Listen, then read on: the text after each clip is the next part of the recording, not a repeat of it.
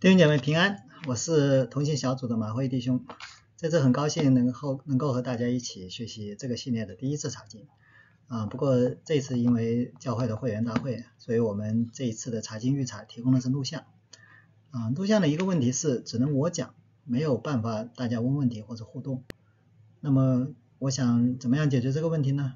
啊，我会在中间尽量问一些问题，不一定有正确答案，大家可以一起来思考。然后看看我的想法是否和大家的想法一致啊？或许你也许有更好更深的想法呢，我们也可以下次预查的时候来分享。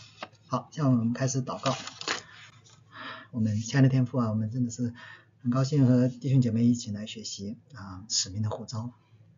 我们知道，当我们踏上一个征程的时候，我们自己的 willingness 和我们自己的啊我们自己的啊心里有多么顺服这个神的呼召，是我们。能够在以后的旅程当中走得更好的保障，我们的神啊，求你的灵在我们中间能够打开我们的心，让我们能够知道你的旨意。我们谢谢你，祷告耶稣基督之名，Amen。好，我们今天第一个呢，还是请大家思考一下今天啊听到以后的啊分享。我们在听完道以后，有没有一些认知上的改变？有没有一些态度上的改变？你有没有什么发现啊，跟原来的想法有一点不太一样的？或者说你今天有一些什么样的决定去改变你的行为？接受福音的呼召是整个福音使命的系列的开始，但是这个开始很不简单，很不容易。我个人觉得整个使命系列中最重要的就是我们这个呼召的内容。为什么说呼召是这么重要？大家可以看看正道堂五年的讲道计划表。正道堂从二零一二年开始就在学习我们是不是有有使命的教会，讲一个有使命的教会讲了五年。二零一七年开始讲装备门徒，装备门的目的是为了开始福音行动，这样一共就花了十年的时间。那么从今年开始到下一个五年呢，我们即将开始真正的福音行动。一开始我们又讲回到使命的呼召这个起始点。是不是也说明了这个话题真的很重要？小组查经预查的意义，上一次肖长老和钱斌牧师已经提过很多次了。小组的预查和讲道本身还是有一点点不同，讲道是讲给所有人听的，所以原则上主题是清晰明确、浅显易懂。而我们参加小组预查的都是各小组的核心同工，我想许多人都经过教会的圣经学的培训。或者对圣经和神学都有比较多的了解，所以呢，我尽量在今天的学习中加多一些内容和提出一些可能的问题，大家可以根据自己小组的内容将内容加以取舍。这里是小组聚会的常规流程，我想我相信大家已经非常熟悉了，所以我就不多讲。那我们今天来开始读经啊，我们来先读经文，马太福音第四章十八章十八节到二十五节，耶稣在加利利海边行走。看见弟兄二人，就是那个称彼得的西门和他的兄弟安德烈，在海里撒网。他们本是打鱼的。耶稣对他说：“来跟随我，我要叫你们得人如得鱼一样。”他们就立刻舍了网，跟从了他。从那里往前走，又看见弟兄二人，就是西比泰的儿子雅各和他的兄弟约翰，同他们的父亲西比泰在船上捕网。耶稣就招呼他们，他们立刻舍了网。离开他们父亲，跟随了耶稣。耶稣走遍加利利，在各会堂里教训人，传天国的福音，医治百姓各样的病症。他的名声就传遍了叙利亚。那里的人把一切害病的，就是害各样疾病、各样疼痛的和被鬼附的、癫痫的、瘫痪的，都带了来。耶稣就治好了他们。当下有许多人从加利利、底加波利、耶路撒冷、犹太。约旦河外来跟从他。在今天开始学习之前呢，我们先回顾一下释经学的一些基本内容。啊，钱牧师告诉我们，啊，许多童工已经学过这个查经的步骤。这是一个简单的释经的一个五个步骤。这些步骤呢是非常容易理解和学习的。我相信许多弟兄姐妹在查经的时候也在使用这个方法。啊，所以第一步呢是抓住圣经，抓住经文对圣经当时的意义。第二个呢，就是衡量我们和当时人的区别。第三个呢，就是啊，来总结出一个能够任何时候都可以应用的关联和神学原则。啊，得出这个原则以后呢，要回到整本圣经里面看这个原则是否符合。然后最后呢，最重要的一点就是这段经文对我们有什么意义？当然原则很简单，但是具体的事件细节可能是这个样子的，包括了历史文化分析、上下文分析、单词分析、文本结构的分析和文法结构的分析等。当然大家也不要被这个这么繁杂的内容吓到了，其实使用的方法还是很固定，有规则可循的。那么下面我们来用经文来一个一个的来分析。第一部分呢，我们来分析经文的背景、上下文，还有圣经神学的。上次钱牧师在讲大使命的查经的时候，基本上总结了如何理解马太福音的意义。马太福音的标准就是大使命，耶稣基督的权柄和教导是整本福音书数式结构框架的基础。因此，如果按照耶稣基督的福音工作来理解马太福音的话，我们可以分成下面几个结构。我们可以看到，第一章到第四章的十一节以前，都是福音工作的准备。这里面包括了耶稣受圣灵的洗和旷野受试探。然后从第四章十二节一直到第十三章，就是开始讲述的是耶稣在加利利的传道。而第十四章到第十五章讲述的是耶稣扩张了他在加利利的传道，就一直包括了北方的撒玛利亚和犹太地。然后到第十六章至二十五章呢，就是讲的耶稣前往啊耶路撒冷路上的传道。二十六章至八章就是耶稣福音工作的高潮，就是他传讲福音的实现，也是他受难和复活的啊继续。我们通常读经的时候啊，不能只读这一段研读的课文。如果你已经对整本书的结构已经有所了解，那么我们现在要知道的就是我们今天读的经文所处在啊这一本书的位置和意义。因此，我们需要研读的经文呢，是要从前一部分开始读，而且要延续到后面的经文。我们刚才读的经文里面，耶稣沿着加利利海边行走。那么有一个问题就是，为什么他在那里？他在那里做什么？耶稣到加利利的直接原因是施洗约翰被捕入狱。当时施洗约翰因为指责当时在统治加利利的分封王西律安提帕娶了兄弟的妻子，而被关进了监狱。因此，耶稣从比利亚，就是这个地图的这个下面这个红圈圈，这这也是约翰被捕的地方，和犹太地的附近，然后他退到了加利利。马太福音的基本点就是说明耶稣是神一切计划的应验，这当然也是新约全书的神学主题。但是马太福音呢，对此做了最为显著、最为突出的强调。马太注意到，耶稣基督在加利利的传道是应验了旧约以赛亚书九章一到二节里面的内容：外邦人的加利利，坐在黑暗里面的百姓看见了大光。在新约时代，犹太人聚集地是耶路撒冷附近的圣地，而加利利地区呢是远离耶路撒冷。我们刚才的图上也可以看得到，是犹太人和外邦人混居的地区。加利利大部分是山区，居民多是乡下的粗人，有些人呢甚至以走私和拦路抢劫为业。因为是混居的原因啊，加利利的犹太人比犹太地的纯种犹太人更多的吸收了。希腊和罗马的文化，他们的说话也有很重的口音，这就是加利利地的犹太人被犹太的纯种犹太人瞧不起的原因之一。所以在约翰福音第七章中，有人甚至还质疑：哎，基督基督怎么会是加利利人呢？那个地方怎么能出基督？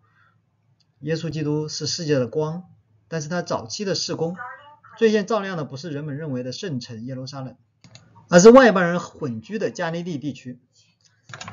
耶稣后来的十二个门徒中有十一个是当地人，这个预示了神的救赎工作的新方向，也是对以赛亚书书中中间的预言的应验。我们学习的经文是从十八节开始，但是其实十七节就是加利利传道部分的总起始句。从那时起，耶稣就传起道来，他的传道内容是：天国近了，你们应当悔改。在此之前呢，主耶稣在犹太地已经开始传道了，方式是在约旦河旁施洗，这是马太福音中间没有提到的，在约翰福音二到四章中有记载。马太编写此书的时候呢，可可能是特意略去耶稣与施洗约翰同时工作的那一段，而以本节为啊耶稣正式开工的起点。为什么呢？让我们重新回想一下耶稣来到地上的目的。也记得约翰曾经说过一句话：“我必衰微，他必增加。”施洗约翰是主耶稣的先锋，他来的目的是为了给耶稣开路。若不是为了这个目的，他就不会来到这个地上。从这个角度上来看呢，在入监狱之前，他的任务已经完成了。他在地上的使命完成以后呢，回去就是一个荣耀的结局。因为众先知和律法说预言到约翰为止，这是马太福音十一章十三节的内容。众先知和律法是旧约的通称，所以旧约到约翰慈禧约翰为止，他是旧约时代的最后一位先知。他的工作结束，也象征着旧约时代正式终结，新约时代正式开始。因此，从那时候起，耶稣开始宣讲，揭开了神的新工作的帷幕。好，刚才我们是讲的前言，现在我们来讲后语。我们研读经文的后续部分是从第五章开始的。第五章一开始就是登山宝训，是讲的如何做基督徒，如何做一个献身给神而顺服神的人。所以说，马可、马太福音常常被认为是写给门徒的福音。所以说呢，耶稣在加利利部分的传道这一大节的部分可以分成如下几个结构。第四章。就是耶稣呼召门徒，第五章到第七章是耶稣关于做门徒的教训，而第十章则讲的是耶稣对门徒使命的教训。所以这一部分的主题是耶稣描述他的门徒会应该有的特征和使命的记载，对门徒的教导贯穿了全马太福音。所以我们刚才说马太福音有时候也被称为门徒的福音，或者是教会的福音。分析完上下文和背景知识以后，我们就知道我们今天研读的经文的位置。耶稣在加利利传道之前的这一段叙述，不仅仅是文学上的需要，要给第五到七章教训人准备好听众，还是因为门徒是耶稣基督传道工作中的基本组织部分。特别这里记载的这四个渔夫，在福音书的记载中有非常重要的地位。他们和耶稣基督之间有一些仅仅只有这四个门徒参加过的特殊经历，比如说第十章、十七章的登山变相和二十六章的葡萄园的祷告等一等。呃，这个这个经文本身的结构可以分成两个部分，第一部分是耶稣呼召渔夫，第二部分是啊耶稣的传道和人们的反应。好，我们下面开始读呃第一部分的啊内容。上一次钱牧师讲到的时候，说我们当看经文的时候，我们可以开始用五个 W 和一个 H，就是原因、物件、地点、时间、人物，还有方法。大家这一段可以分一下这呃五个 W 啊的的具具体内容。我们看看他的人物是什么人物？耶稣和彼得、安德烈，还有啊还有另外两个门徒雅各和他的兄弟约翰。他的地点在哪里呢？加利利的海边，时间和为什么他们在那里，我们上面已经讲过了。啊，门徒正在做什么呢？他们正在工作和撒网。耶稣做了什么呢？就是呼召。大家特别注意这一段里面的重点关键字啊，我把几个重点的字我都用红字来标标出来了。耶稣的呼召中有两个动词很重要，一个是跟从，一个是我要叫。跟随的意思呢？这个在原文上面就是物理上的跟随。这个字特别，这个字在原文当中是命令式的，同时也是要求对个人自主和其他的主宰的否定。这一段经文里面有没有比喻？有，得人如鱼，这是什么意思呢？大家可以思考一下。这段经文里面有没有重复的字呢？这个立刻出现过两次，都是呼召两组门徒的反应，他们的反应都是立刻放下手头所做的一切。那有没有比较呢？我们看到这里也有比较，是两组门徒的故事，他们之间非常相似，也有一点点不同，所以这也是我们可以分析的地方。那么这一段的背景知识呢，我们可以介绍一下，就是被呼召做门徒，对耶稣时代的犹太人意味着什么？犹太的时代，哦，基督的时代，犹太教的各个派别的老师都有自己的门徒，啊，甚至甚至啊，约施洗约翰也有他自己的门徒，法利赛人有他们自己的门徒，耶稣的门徒呢，他称耶稣很多时候称耶稣为拉比，拉比的意思就是我的老师，拉比是犹太民族的宗教领袖。有一些拉比是会堂的领袖，有一些拉比是教师或者是啊当地的带领者，他们的使命是来教导民众的律法和来自神的智慧，所以拉比具有一定的社会地位和宗教地位。门徒一致的意思呢，就是做拉比的执事和仆人。门徒需要委身服侍拉比的，要照顾他的生活，准备食物，还有筹集金钱来供养拉比。在服侍的同时呢，他们会从拉比那里学习律法和神的话语，以及效法拉比的行为。然后拉比的门徒最后有可能会被安立成为新的拉比，可以世代的传承以以色列民族的信仰和和对神的忠诚。因此，对古代犹太人来讲呢，若是有人被招做拉比的门徒，就表示他要放弃自己现在的生活，和拉比一起生活，然后努力吸收拉比的教导。并且带领更多的人成为门徒，这是我们刚才啊讲解经文的一部分的 PPT 内容。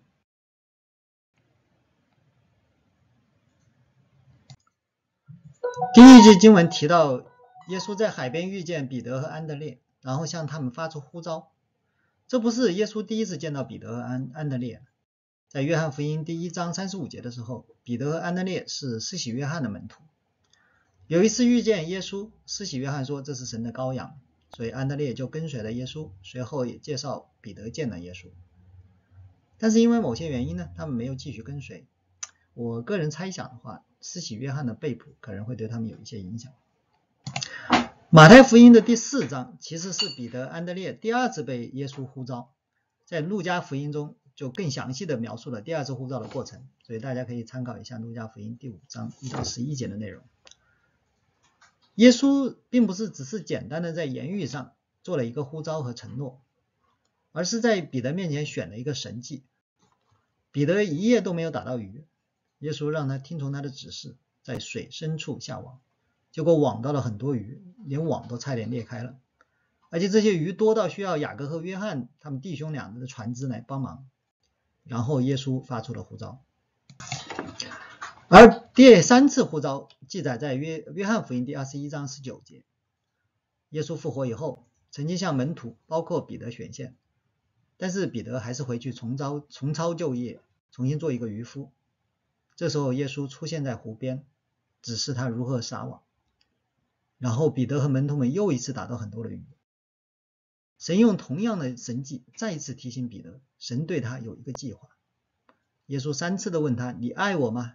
你如果要爱我的话，你要牧养我的羊。最后，耶稣再一次呼召他说：“你跟从我吧。”大家有没有注意到耶稣召唤的方式？我们看看创世纪十二章，神是如何召唤亚伯拉罕。不知道大家有没有发现一些共同的特点？有趣的是，大家也可以参考使徒行传第七章。其实亚伯拉罕也经历过两次呼召啊，一个是创世纪的第十二章，一个是。使徒行传的第七章，第一次是在美索不达米亚，啊，是加勒底的人的地方，他亚伯拉罕住在啊哈兰。第二次呼召以后呢，亚伯拉罕离开了哈兰，来到了迦南地。所以这里边就产生了一个问题，就是神呼召的方式有没有什么特点？这种特点是特殊性呢，还是有普遍性的意义？呃，我总结了一些一些特点啊，看大家。看看有没有跟我的想法是一样的。第一呢，就是跟随神呢，需要我们放弃一些东西。这个我们能够放弃什么东西，或者我们要神要我们放弃什么东西，是我们可以讨论的一个话题，是一个可以大家可以在小组里面讨论。第二个呢，跟随神需要遵循他的指示。第三个呢，神会给一个未来的目标，但是通常没有告诉你具体的方法和。他的要求就是你的顺服。跟随，第四个呢，神可能不止呼召一次。那么这更多的问题就来了，为什么耶稣要多次呼召彼得？如果第一次彼得安德烈就永远跟随了耶稣，那耶稣是否就不需要第二次、第三次呼召呢？这个有可能吗？神呼召我们，我们有可能比彼得做的更好一点吗？我们就第一次就马上响应呼召？我想我们也不太可能马上就能做得到。神了解我们的反应，他因此给我们一个慢慢成长的时间。而每一次呼召呢，神的计划就会越来越清晰。而能够顺服每一次呼召的门徒呢，他是在跟随中不断的认识神，他们的思想是在不断的变化。我们看彼得第一次呼召的时候，他称呼耶稣为夫子，他跟随了耶稣一段时间。第二次呼召呢，彼得就已经称呼耶稣为主，他跟随了耶稣三年。然后第三次耶稣呼召他的时候，他跟随了神一生，并且将生命完全献上。神并不期待我们一次就会完全的委身，关键的是我们每一次神召唤的时候，我们都能回应和顺服。嗯，我在读神学院的时候，有很多同学，我们可以看到他们的成长，成长的道路是非常的有有很多相似的地方。有很多同学他们都是从开始顺服啊，愿意为神服侍，然后从小组长开始，然后开始在小组里服侍。然后慢慢慢慢的，他们觉得他们的人里，他们的生命在不断的变化之中，然后教会就会就会呃有可能会会让做执事，成为教会的核心同工。然后慢慢慢慢的，我们看到很多愿意忠心做执事的啊弟兄姐妹，他们最后被呼召，他们愿意做到全职侍奉。从他们的生命过程中，我们可以看到哪一步的顺服是最难的一步呢？实际上，有时候我们跟他们，我我们我们在一起分享的时候，实际上第一步的顺服越，往往是，往往是往往是第一步最难的，往往是第一步，就是变成小组长的那一步。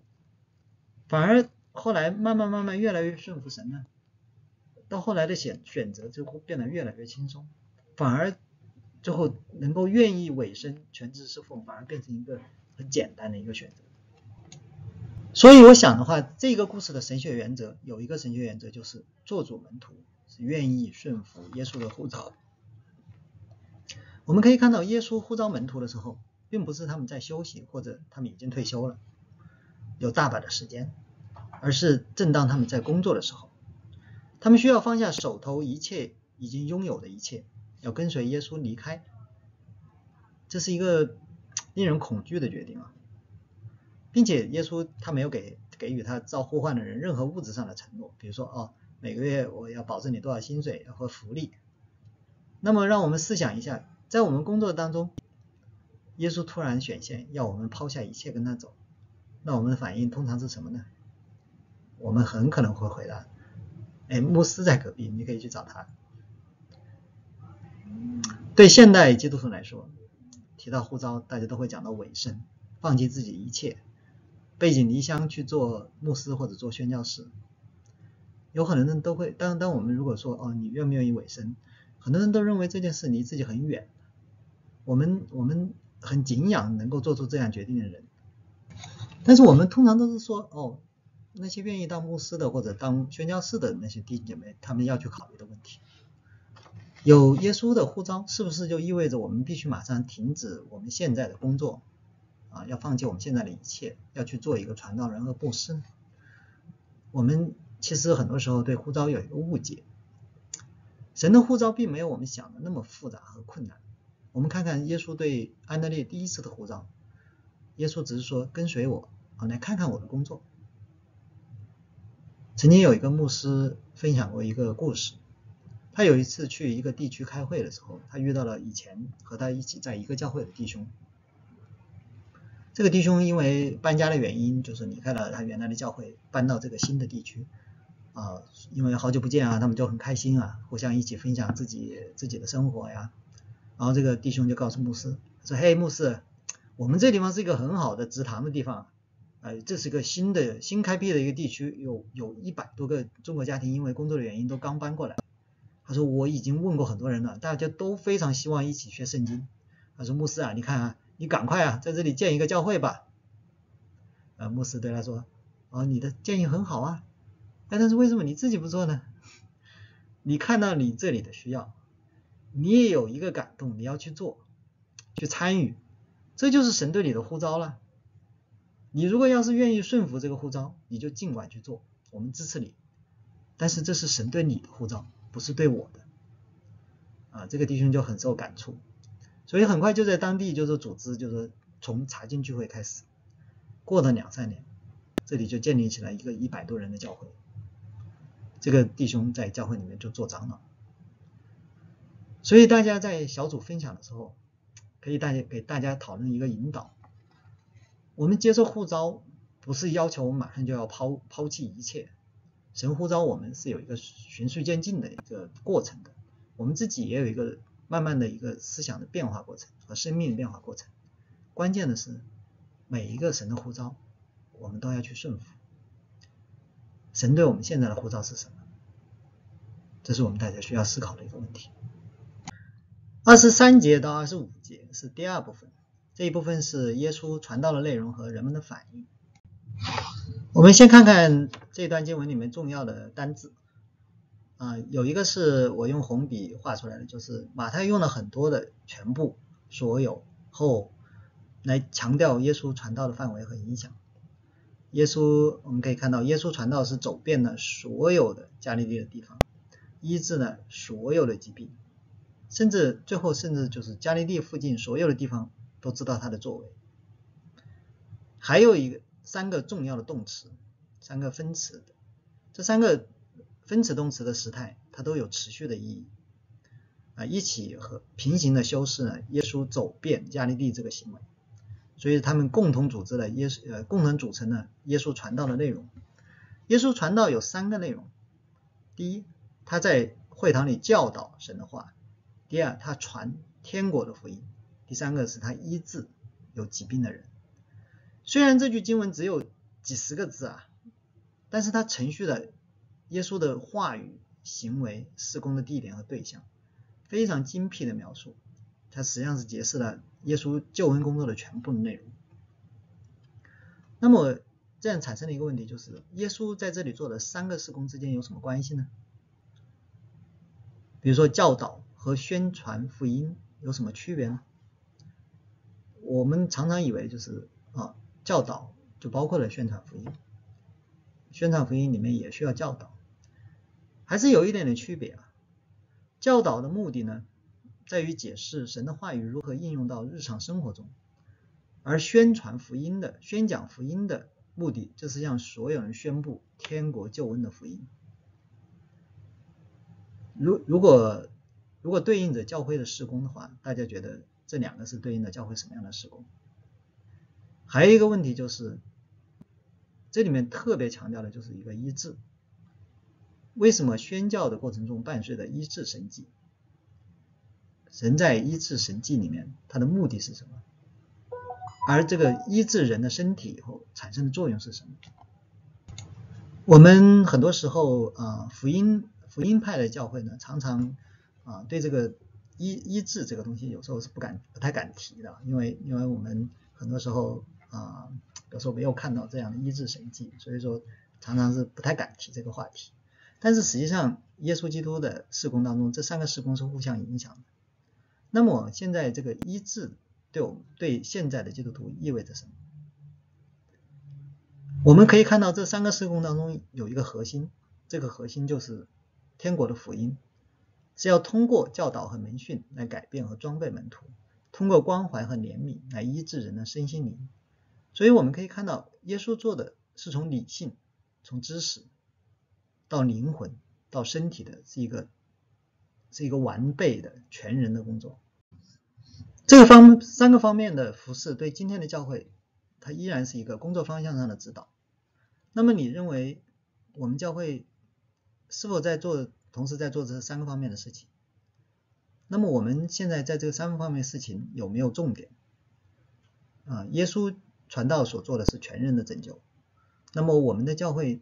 在传道上有没有什么？现在有没有什么一个侧重点，或者说有什么缺陷？如果有缺陷的话，你认为我们缺乏什么？应该如何平衡？最后有一个很重要的一个问题，我想的话，啊，大家可能需要问问会众的就是，你们有没有参加过其中任何一个？对，二十五节的时候呢，再次出现另外一个单字，啊，跟随。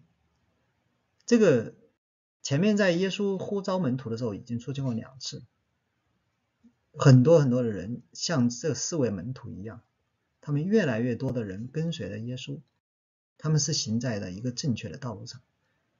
但是他们的跟随和四个门徒的跟随有一点什么不同呢？我想的话，大家可以思考一下这个问题。